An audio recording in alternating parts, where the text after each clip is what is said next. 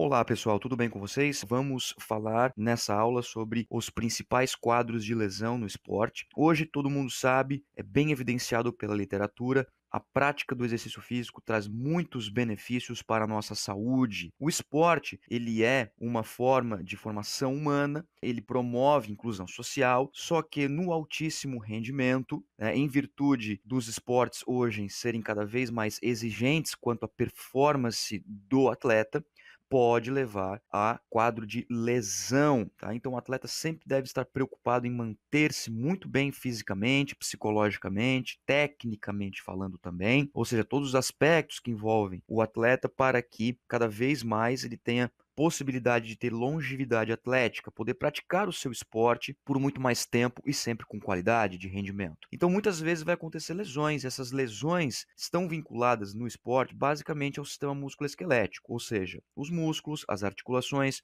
os ossos, tendões e ligamentos. E é dependente da especificidade de cada esporte. Então, eu vou ter lesão que ela é mais comum em um determinado esporte e vou ter outra lesão que ela é mais comum em outros esportes. E tem aquela lesão que ela aparece em muito mais esportes porque ela é mais comum de acontecer, tá? porque alguns movimentos são muito parecidos entre os esportes. Entretanto, outros movimentos são característicos de esportes específicos. Nós temos esportes de combate, nós temos esportes de altíssimo contato físico, de impacto contra o solo, de manipulação de objetos, de arremessos, de lançamentos, temos de tudo hoje. E entre as principais lesões, nós temos, por exemplo, a contusão. A contusão, pessoal, na linguagem coloquial, é aquela pancada no músculo, que ela é promovida geralmente por um adversário, como por exemplo no futebol, nas lutas, onde devido a um golpe de um adversário, seja legal ou ilegal, pode causar um hematoma na região muscular, que pode levar a, a um caso grave, como por exemplo a miosite ossificante, onde há uma é, calcificação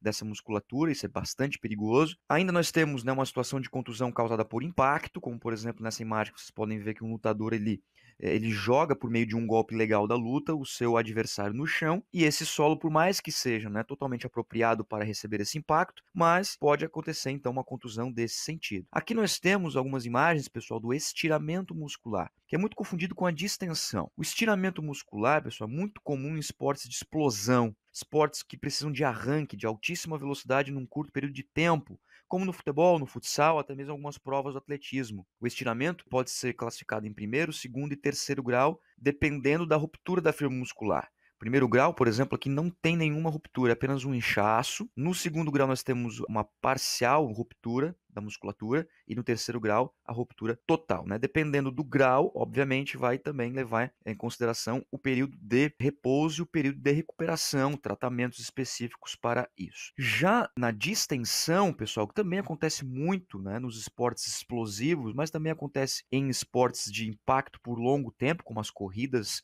de fundo, por exemplo, no caso do atletismo, a distensão ela também está vinculada com um afastamento, com um rompimento das fibras musculares, mas também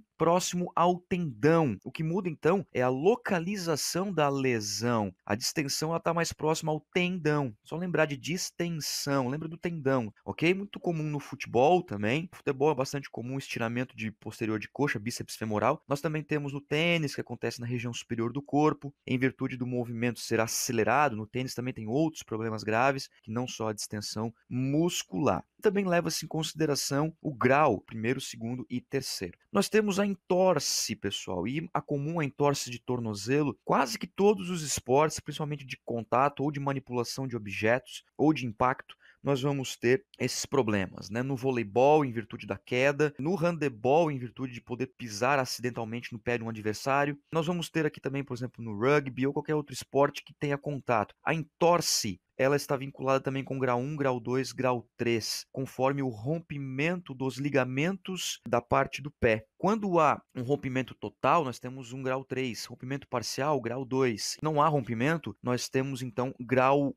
um. Inclusive, a entorse ela pode acontecer acidentalmente, quando você está caminhando, por exemplo, na rua e simplesmente falha o pé, pisa errado na calçada, não calcula bem a passada, você pode torcer o pé e se machucar é, gravemente por uma situação simples, né, inesperada. E imagina no esporte, pessoal, imagina no esporte onde nós temos grau 3, em que o atleta precisa de tratamento, até às vezes cirurgia, para poder voltar à sua prática esportiva. Tudo bem? Então nós temos a entorse também bastante comum em esportes de impacto. Outra situação que nós temos é a luxação. O que, que significa luxação, pessoal? É o deslocamento de um osso da sua articulação. Aqui nós temos nessa imagem, por exemplo, uma luxação anteriorizada para a frente do corpo. Existe também a luxação posterior, ou seja, você pode ver aqui que o húmero se deslocou da clavícula. Isso é um ombro luxado. Nós temos também algumas situações que acontecem né, no, no rádio e na una. Tá? Tem até inclusive uma brincadeira que a gente faz com as crianças de segurar a criança pelas mãos e ficar girando ela. Isso pode causar uma luxação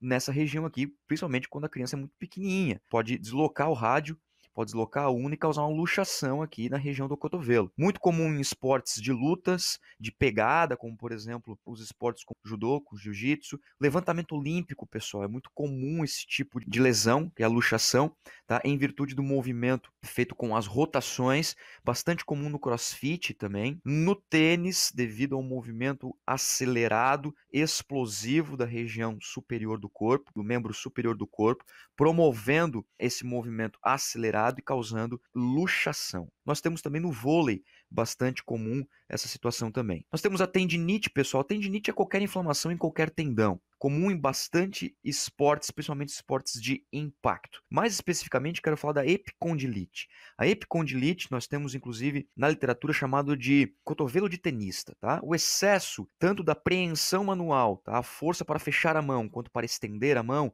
flexores e extensores de punho estão vinculados com epicondilite lateral e medial. Epicondilite lateral para a parte de fora do cotovelo e medial, a parte de dentro do cotovelo, causando fortes dores, comum em esportes como tênis, comum em esportes como beisebol, futebol americano, esportes que exigem essa manipulação de objeto. Nós temos também a bursite, pessoal, que acontece muito com quadro de luxação, né, e até mesmo de tendinite comum no vôlei, no handebol, que é uma inflamação da bursa. A bursa ela fica localizada entre as articulações que podem inflamar, causando dores, é, problemas de movimento como elevação de ombros, abdução de braço. Tá? Então, esses são os principais quadros de lesão nos esportes, né? só para vocês saberem os conceitos, o que, que significa e onde mais acontece.